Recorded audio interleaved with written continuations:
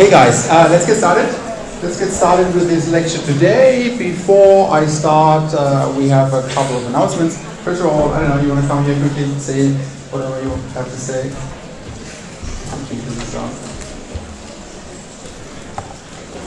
Um, I don't. I don't actually have a script right. I mean, I, I don't know what to say, so I'm just going to read it off my phone. So, um, um, You have to shout into this thing. Um, so, so basically, um, I, I'm one of the uh, models for the UCD fashion show. Uh, it's um, it's for uh, today and tomorrow, and um, I'm I'm selling tickets. Um, the uh, the show is uh, in aid of Jigsaw, Jigsaw, which is a national center for youth mental health. Um, yeah, so you can get tickets from me at the end of the lecture, or uh, you can go to the SU shop and get them. Um, tickets are 12 euro for uh, students, and uh, for anyone else, it'll be 15 euro. And uh, yeah, thanks.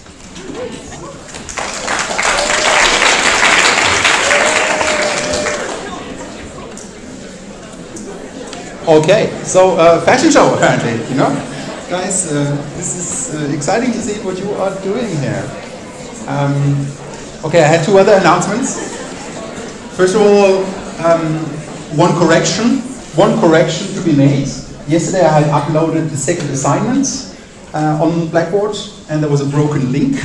So I don't know if you figured that out. Maybe you just haven't seen that yet. So actually, I corrected that. So in case you downloaded the, the assignment yesterday, uh, there was a link in there which was broken. Now the link is corrected. Okay. And another announcement that I have. So um, at the last lecture, we had some leftovers. You know, we talked about research design. You know, I started talking about experimental designs, and I want to talk more about different kinds of designs. But um, I don't want to rush this. So uh, at the same time, I want to get to something else today. So I will come back to that next week. So next week on uh, Monday, I will talk more about, with a little more time, about different kinds of research designs. Yeah. And a last announcement that I have for next week, there's going to be a second component in that. Uh, well, you know, I don't know about you, but that's sort of the time of the term, you know, it's getting a little hectic. Lots of stuff happens. Oh, there's a fashion show. Yeah? So there are all these things going on. Your life is busy, and sometimes, you know, this is, this is where it's getting a little exhausting for you. So I'm aware of that. So during the next week, uh, I'll have a review session, or more precisely, it's going to be a big quiz. Be surprised. I think you're going to love it. It's going to be a big quiz um, where that we'll also use to revisit some of the material. Yeah? So most likely that's going to happen on Wednesday next week. So I don't know, normally you bring your phone, but I don't know, it's always good to have something like that. If you don't, I don't know, uh, next week, Wednesday, would make a lot of sense to have either a computer or a tablet or phone with you that connects to the internet. Yeah? Otherwise, you can't participate in it.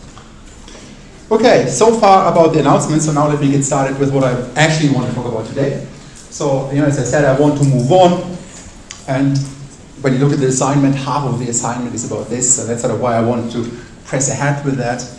Uh, and I want to talk about literature reviews and literature search. Yeah. I remember, I don't know, I talked about having research questions, then I talked about this research process, and one of the first components that we had in there in this research process is doing a literature review, and doing a literature search.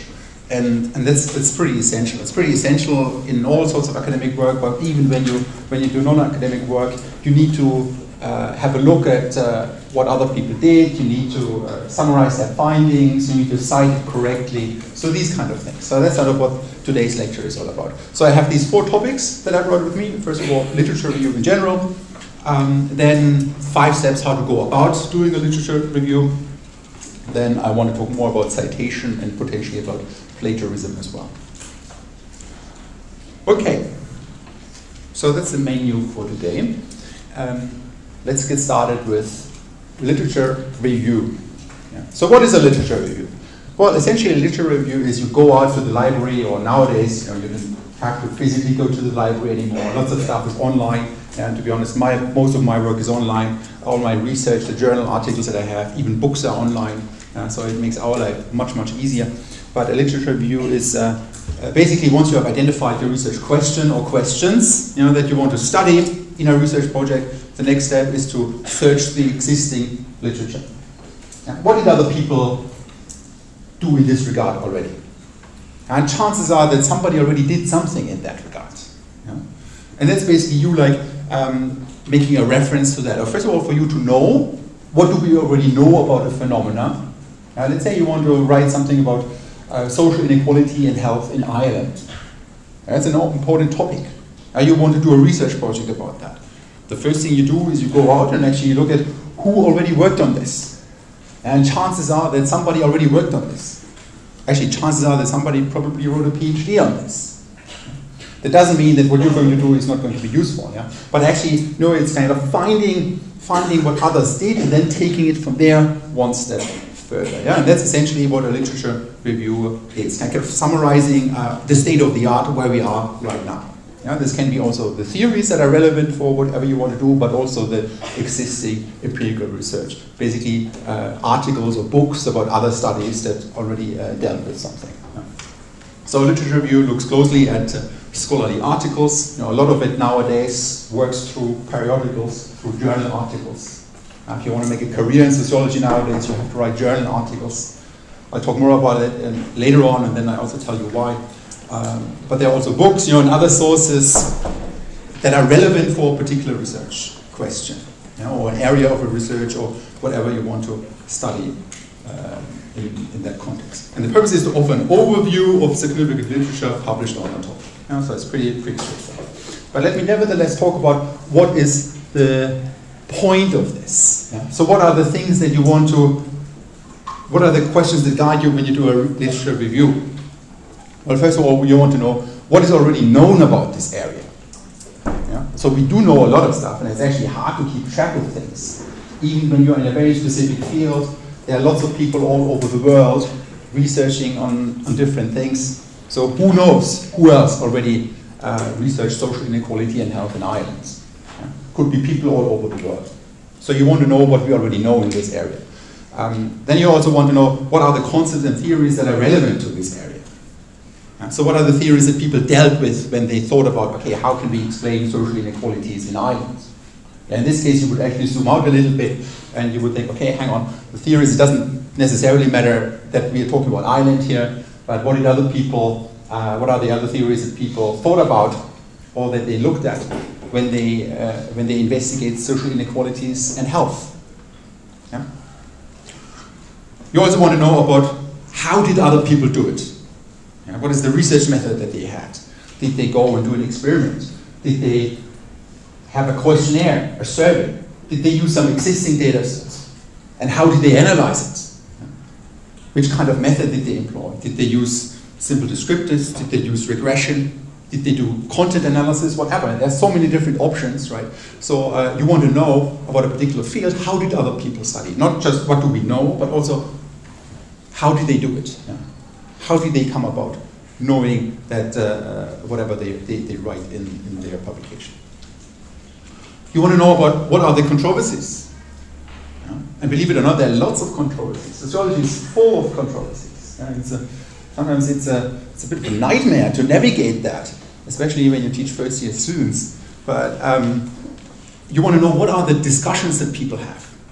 And remember that, that I said we are not always you know, there's a slightly different thinking in a way. It's, um, sometimes we just don't agree. Some people say that, that, I don't know, this theory explains social inequalities and health in Ireland. Other people say something else explains it. to them. There could be a, a debate going on. There could be a controversy going on.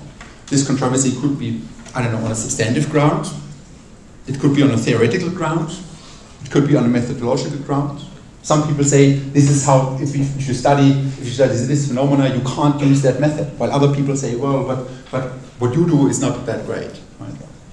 And that's sort of how that's sort of how we improve. That's sort of how we how we go forward. You know that uh, that serious academics have serious uh, controversies and debates, yeah?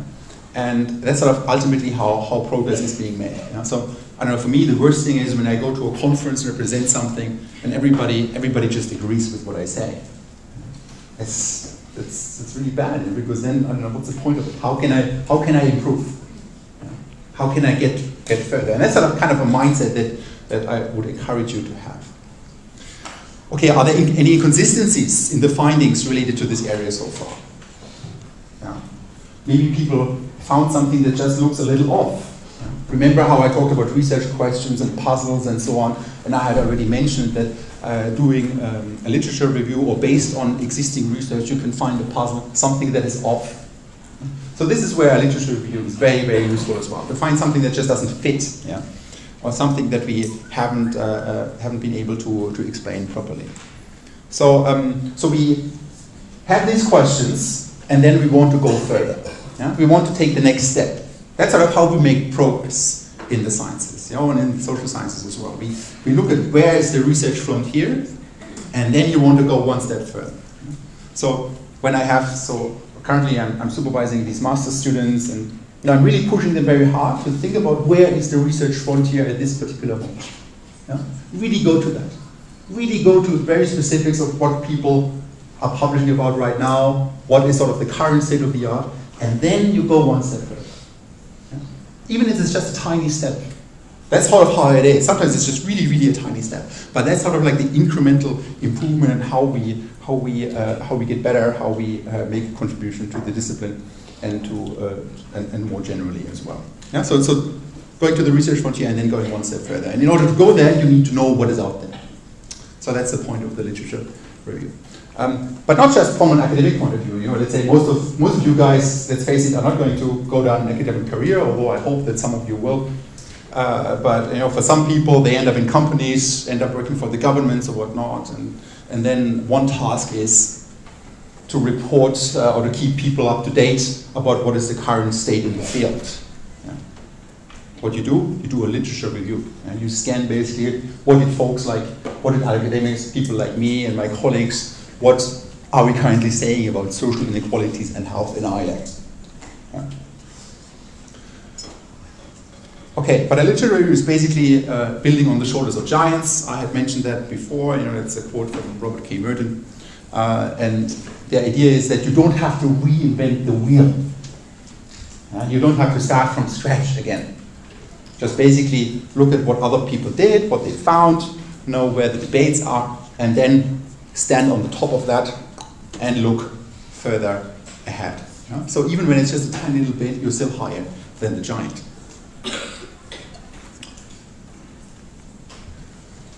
Uh, another important thing about literature reviews is also that when you when you um, when you do your own research. And let's say I do a research project. I'm going to talk a little more about that. Currently, I'm doing a research project with a student of obesity and social networks. Uh, like I don't know, why are uh, overweight people friends with other overweight people? Why are underweight people friends with underweight people? And we do a literature review in that context and this connects our work with previous knowledge, debates, and controversies. Right? So we make a link from us to them. Because often, I don't know, people don't really know who is interested in that, but through these references, and talk more about references, uh, by bringing people into my literature review and talking about their work, I make the link between my work and their work.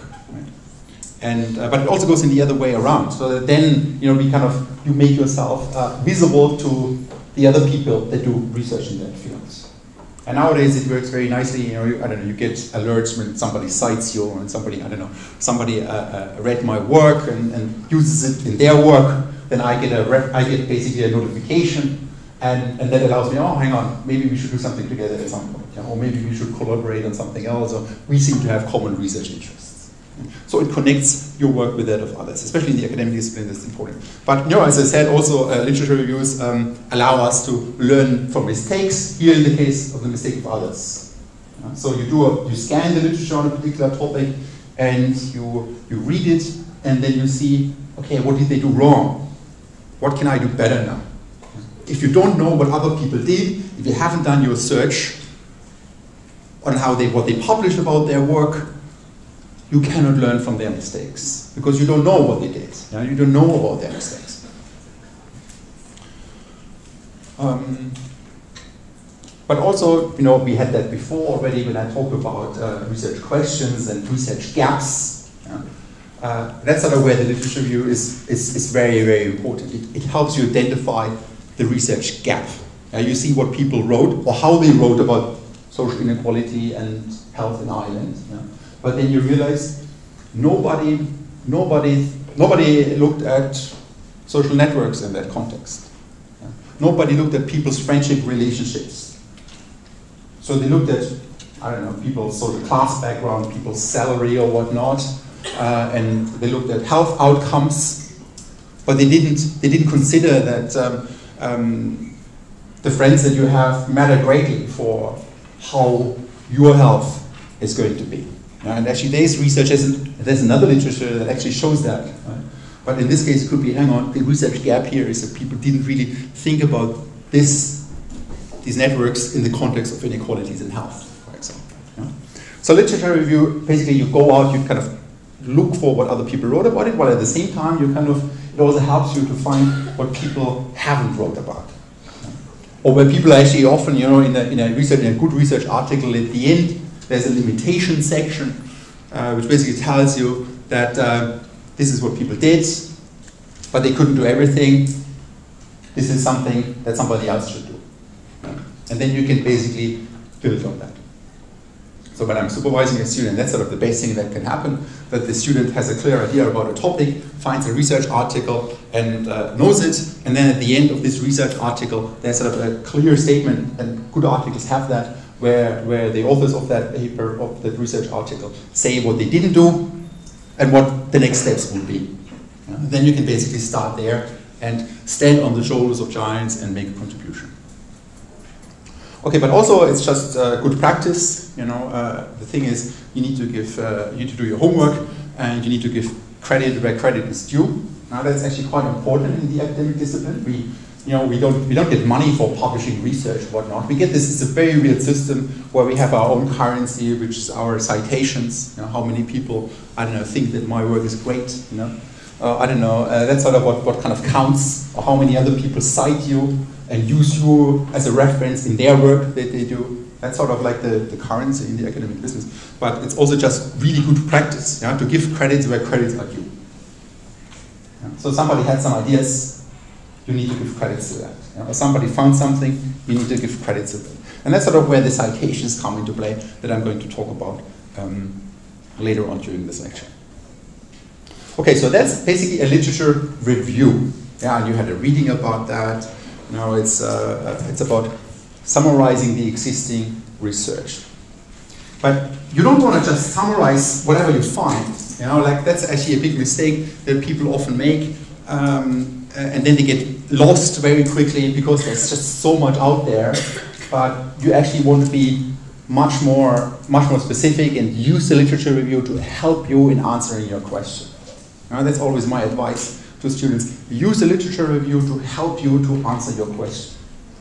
If it doesn't help you to answer your question, or it's not relevant to answer your question, then you should put it in your literature review.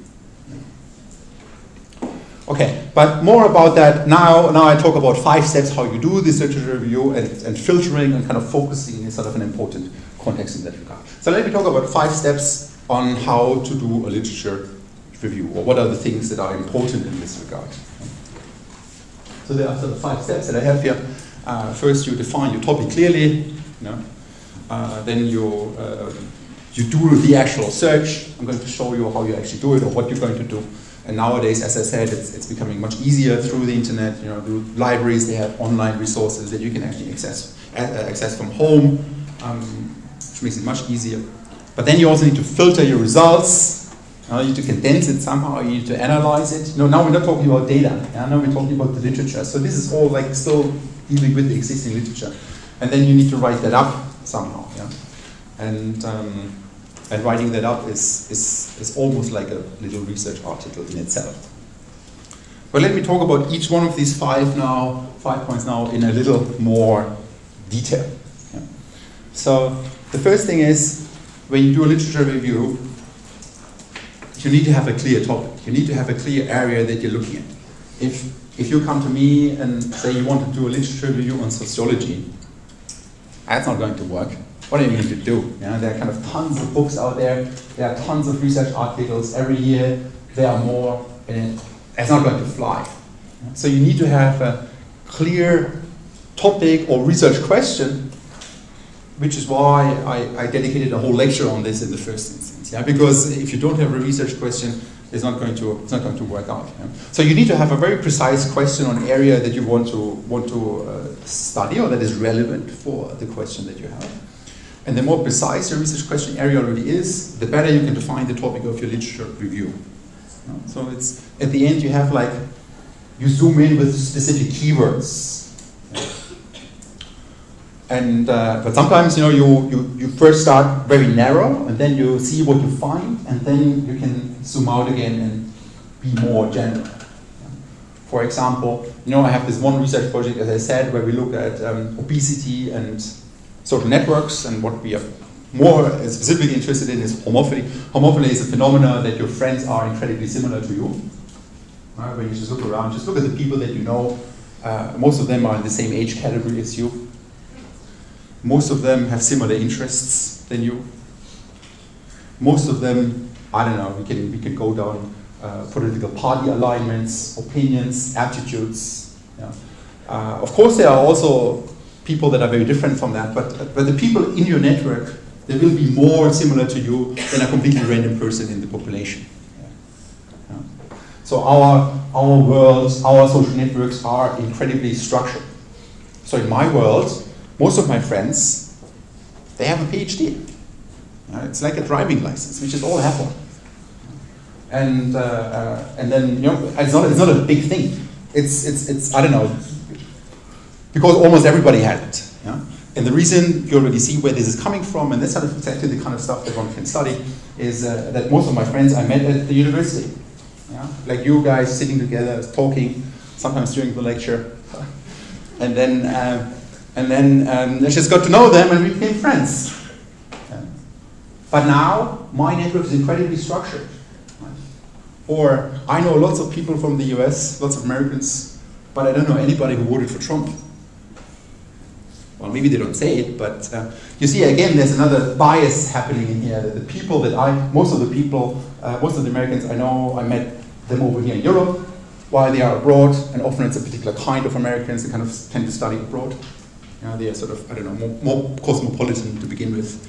You know why. And there you see another effect, you know, like how our networks can be incredibly structured. So actually, a lot of my work is, is about that. Technically speaking, we call that homophily. And uh, you know, in this particular research project with this student, I'm looking at obesity homophily right now. You know, like why is it actually we do find it that uh, the friends of overweight people tend to be overweight as well, right? or the friends of underweight people tend to be underweight as well. But now this is our research area, yeah. And when we now start this research project, we need to check the scene first. What did other people research? What did other people write in that context already about? So I have a search key at the end of the day, obesity homophily, and I look for that. If I don't find anything about that, then I zoom out. Then I look at maybe health and social networks. If I don't find anything there, then I zoom out even more. So that's sort of what I mean by starting very precise and then kind of zooming out. It's much easier to start precise and zoom out than to do it the other way around. And if you don't have a precise research question area, you know, just go back and read and think about a good research question. It's not worth it. You're going to get lost. So really have a very precise and very good research question. Okay, so um, well, the different strategies how you can go about that now, but let me jump over that and talk about how you actually then search stuff. Yeah. So now imagine we have an idea, I want to study this, this I want to start this research project about social networks and, and health outcomes or obesity more specifically. You know, how do I go about this? Well, one really good starting point is nowadays the internet. You know, believe it or not, the internet knows almost everything. So it's incredibly uh, resourceful, and sometimes it's hard to imagine how did people do these things like, I don't know, 30, 40 years ago you know, without the internet. Well, there was a lot more legwork involved, to be honest, but at the same time, there was also a lot of redundancy because they didn't really find that somebody else already worked on something.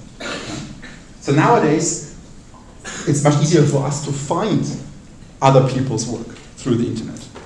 So actually that can be a, a big advantage. So I'm arguing very much in favor of this because um, it really allows me to identify what somebody wrote about uh, social networks and health inequality in New Zealand, for example. or in South Africa, or something like that. Right? Before, without uh, having the proper means to search for it, I could miss that easily. Yeah. And we, let's be honest, we're still going to miss a bunch of stuff. Yeah. But uh, we are less likely to miss important, to miss important things. Okay, so the internet is actually a good starting point. You know, seriously, just just Google stuff. Um, there's one caveat though. You know, the internet has all these wonders. It's all this stuff that you find. It's sometimes cute, sometimes funny, whatnot. Yeah. But is this credible? Yeah.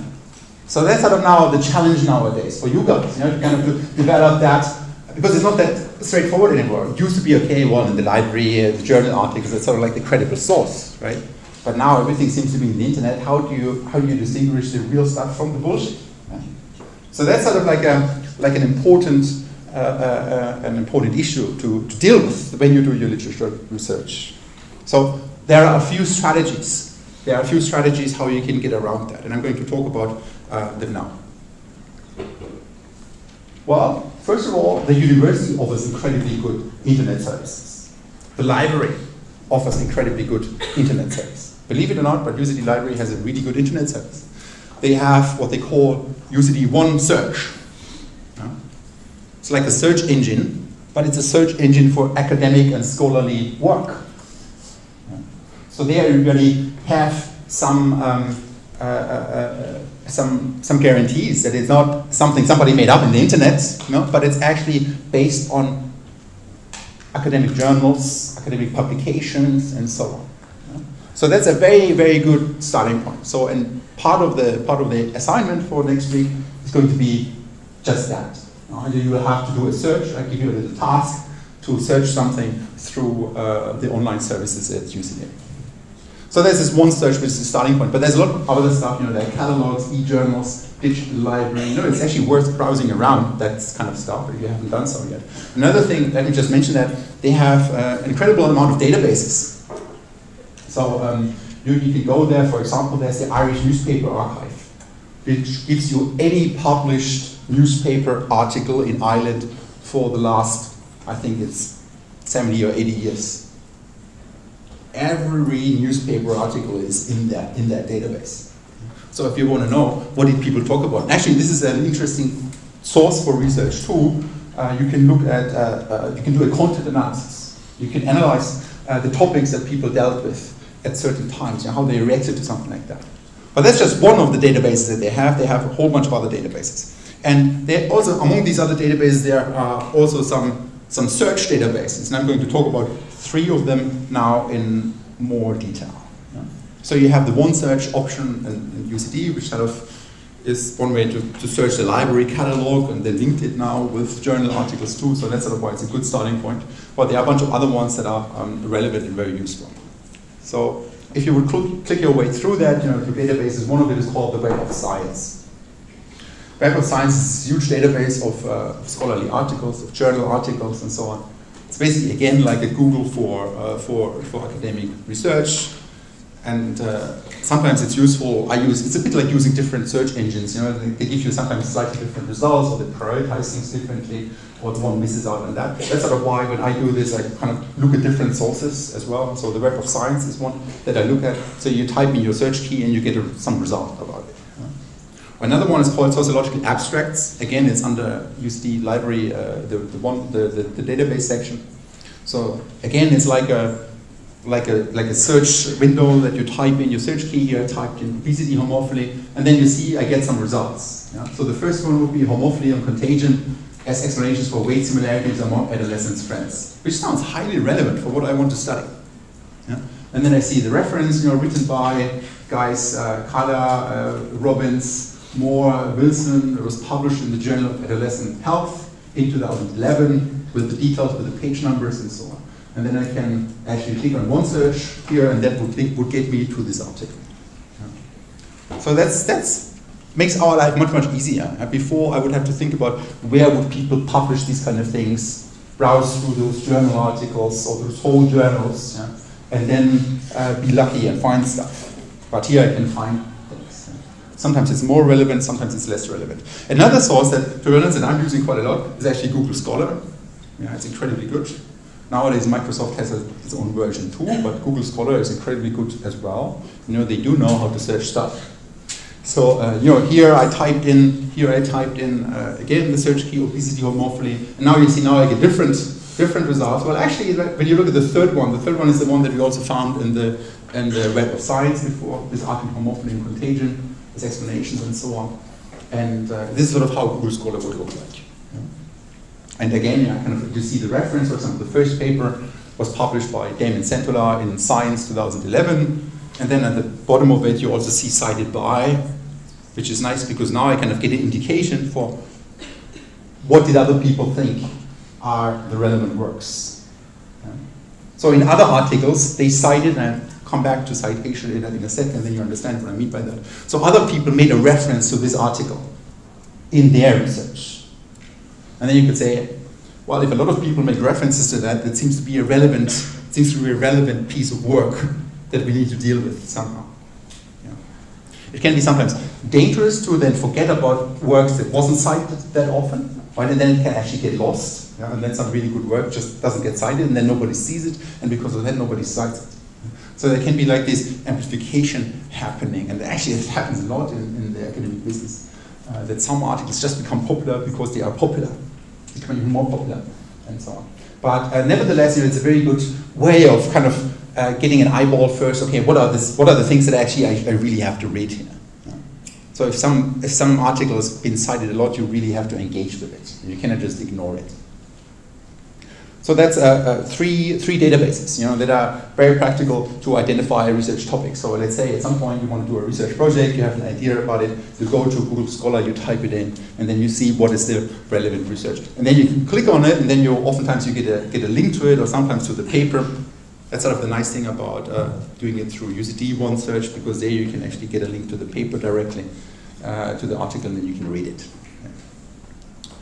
Okay, so when you do this kind of thing, and uh, uh, um, so, so, that's sort of one way, kind of looking at what, what does Google tell you? Uh, basically, it searches it based on keywords, you know, basically scanned all the documents and so on. But what I often often do as well, it's what is called a spider search.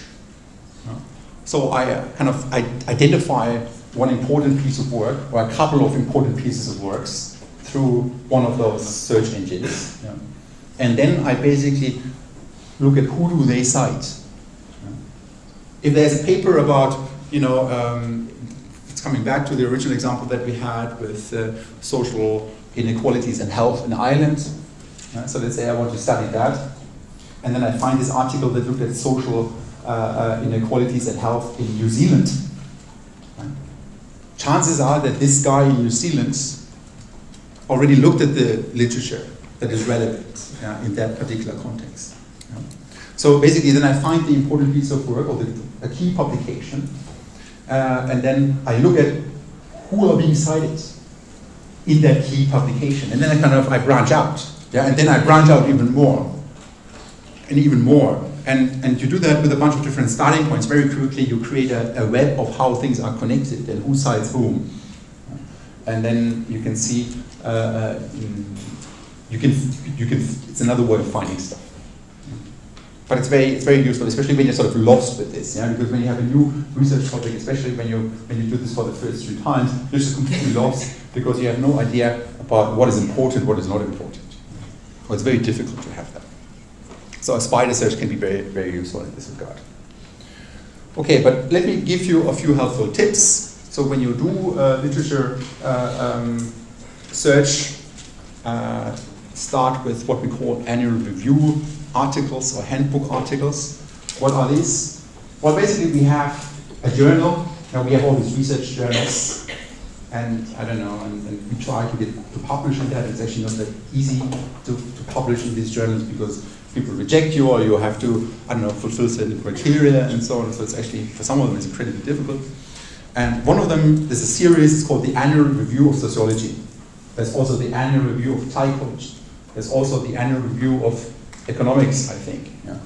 So basically, in these in these journals, basically some prominent figures in the field, in whatever field, let's say social inequality and health, are being asked to summarize the state of the art. That's basically what it is. It's just a review article. There's no, there's no uh, new research in there. It's just summarizing the state of the art, like putting a milestone on where are we right now. What are sort of the questions that we need to look at? Which is why these journal articles are a very good starting point. The same for handbooks. Handbooks are basically often thick books that are too expensive for you to buy, so that's sort of why you go to the library. I like handbooks with the same mission. There's a handbook of um, there's a handbook of migration. Yeah. And that's sort of like scholars in who study migration in sociology. They came together and they kind of looked at uh, all different aspects of it, and people wrote different summary chapters about that. Or there's a handbook for my field. There's a handbook of analytical sociology, you know, where kind of important people in the field kind of came together, put a book, a thick book together with different chapters about different aspects, and they summarize these different aspects. Okay. Um, second advice, start with the most recent literature on topic question and look at their literature reviews. Basically walk your way backwards. The idea is if you start with, uh, you remember if you start with, you find an important piece of work and then you look at what this who this person cited in the bibliography at the end of the research article, you only find the existing work that existed at this particular moment. So if I find an important piece of work that was published in 2000, then the, and I look at, okay, who, who is being summarized in this research article yeah, by this person, uh, but then only stuff is in there that was written before 2000. So I'm missing out on everything ever since. So that's sort of the reason why you should start with the most recent one and then kind of work your way backwards, because otherwise you don't see stuff because it just didn't exist at the time. Okay, identify one or two key publications and make a spider search from that. You know, that's sort of always my recommendation. Find one one piece of work and then kind of use that as a starting point and, and branch out. But this is quite a lot. This is quite a lot. So what you need to do, so very quickly, you know, type something in Google search and you get 10,000 entries. What are you going to do with that? You can't impossibly, you can't impossibly read through all 10,000 articles. Yeah? So you need to filter this somehow. You need to evaluate this somehow. And why do you need to do that? Well, also because there's a whole lot of rubbish out there. So nowadays, uh, I don't know, being published doesn't necessarily mean that it's good. There's an awful amount of crappy journals out there. So it's not just when somebody comes along and tells you, okay, I published this piece of work, that this is good. And you cannot really bank on that. So uh, sometimes it's good, sometimes it's really, really bad. So what are sort of strategies to find the good stuff? How can you find good research? Well, one is uh, look at the syllabus. Yeah guys like me, or probably even more older dudes with even bigger beards, they um, put a syllabus together. So then you can you can draw on them. So when you kind of start in your research, so actually a very good starting point for if you want to study, let's say, health inequalities and uh, um, or, or, social inequalities in health in Ireland. Yeah. Look at a syllabus where somebody teaches health inequalities, and then you kind of see, okay, this is sort of the relevant piece of piece of work, or this sort of like important stuff. Yeah, this is not complete bullshit, yeah, because somebody actually thought about that. What we do have here, as I mentioned earlier, we um, nowadays uh, the publishing business works through journals, through journal articles, and there's a whole bunch of journals out there. But actually, there's a there's a there's a different journals are regarded in different ways. So, for example, if you publish something in Nature or Science, you know that's kind of like I don't know, is is is the ultimate thing to do. Yeah. While in sociology, it's actually we have very clear top journals as well. It's the American Journal of Sociology, we call it AJS, and we have the American Sociological Review, ASR.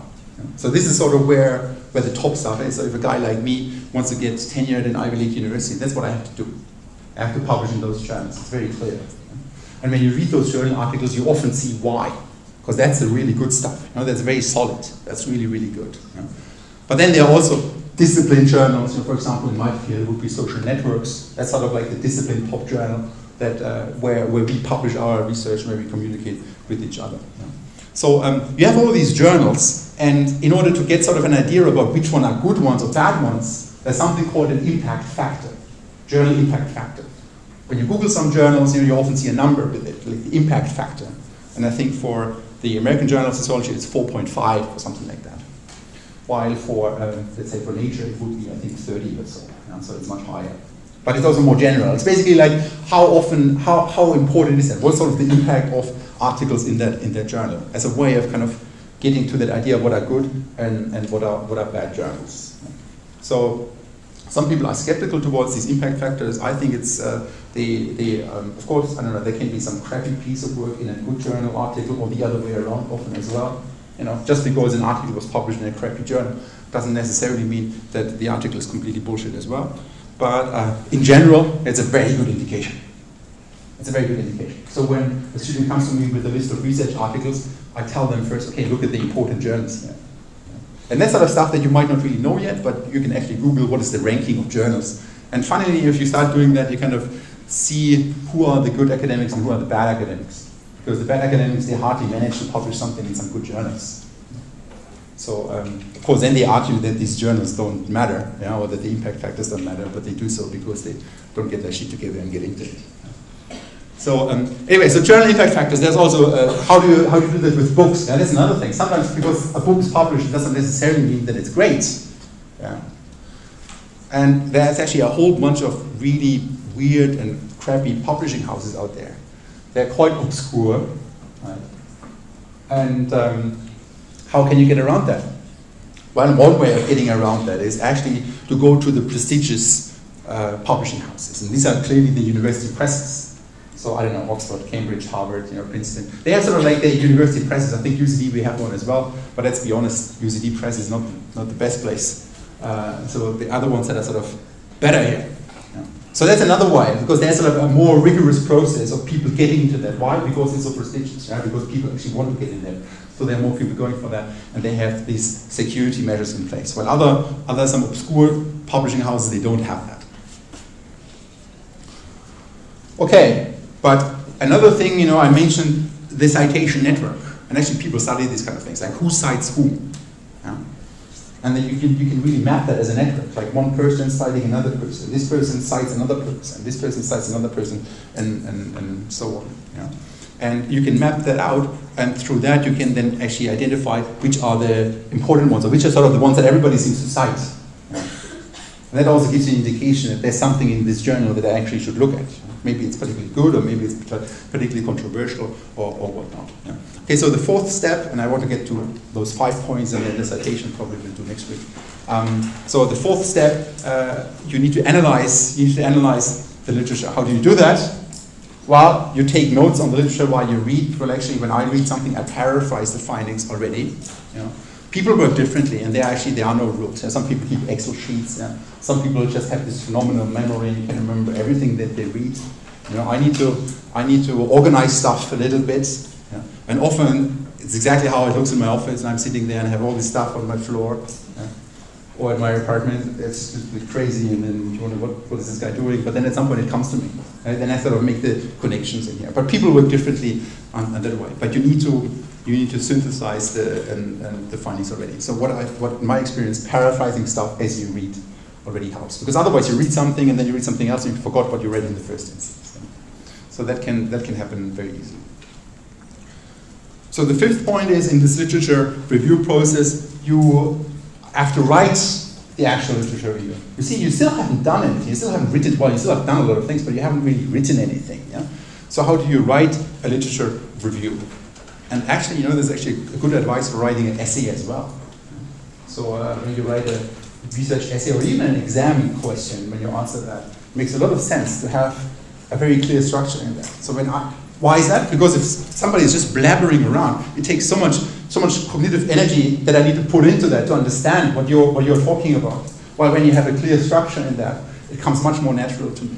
Yeah? And uh, so when you write a literature review, you even have come walk back to that data stage as well, how you, how you basically set up a whole research project in a way, but even within the literature review, you have an introduction you know, that gives a quick idea of the topic of the literature review and the central themes and how you organize it. Then you contains a discussion of the sources and either organize them chronologically, thematically, or methodologically. And uh, at the end, you have a conclusion, recommendations, discuss what you have drawn from the review, from the literature that you've reviewed so far, and, and where might the discussion proceed.